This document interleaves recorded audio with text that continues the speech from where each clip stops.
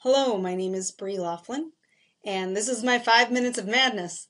My scholarly project is an analysis and framework to identify common data elements and propose standards for patient classification systems used in nursing, staffing, and electronic systems.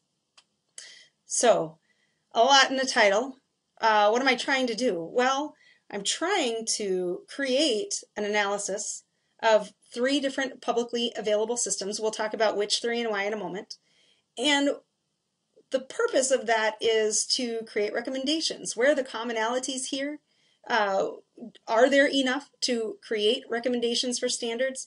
And then to take the tool that I used, make it publicly available, so that people can use it to explore additional tools and see if their workload acuity systems uh, have similar commonalities or if there are areas of further investigation that need to be considered for these recommendations. Let me go back to the introduction on the, the left side of my slide. So a patient acuity system or a patient classification system, these have been around since the 1800s, a very long time. And the reason is that there's been a long-standing need to understand how many nurses are needed to appropriately care for the patients that we have on hand.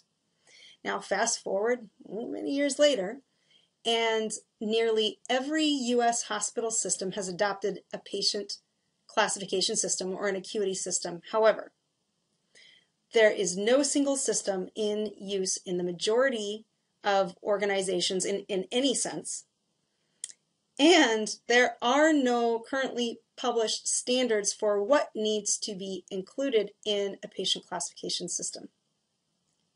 So earlier this year, I was able to participate in a work group for the American Nurses Association, where we had representatives from different electronic vendors. These weren't just EMRs, these were also vendors that had electronic solutions for staffing systems and patient classification systems and we were tasked to create a tool that would help nursing leaders uh, select electronic solutions.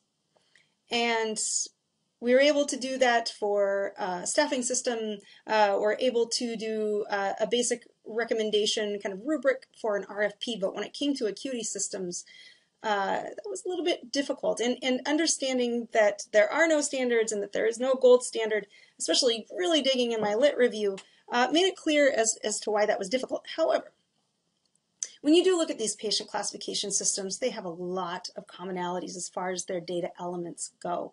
And the gap that I found in the literature review is that there was not that side-by-side analysis where we looked at the data elements and said, this percentage of the data elements across algorithms are common.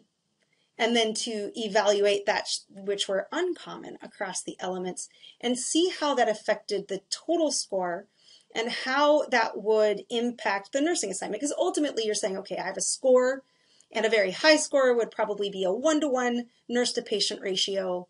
A moderate score would be one to two, one to three, on down the line. This is a tool that we're using to say how many patients should a, a particular nurse take on.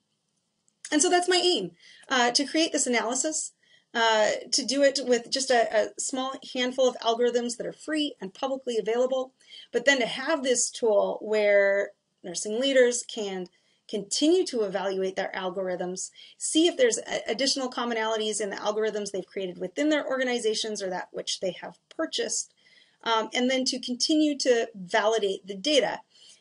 I'll come up with an initial set of recommendations, standard data elements that, that were observed across the algorithms. Three, it's not very many, uh, but it's a starting point. And again, what I want to produce as well is that tool so that uh, people can continue to evaluate the data and, and validate these recommendations.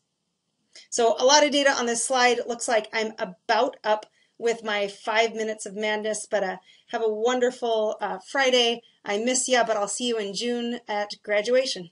Take care.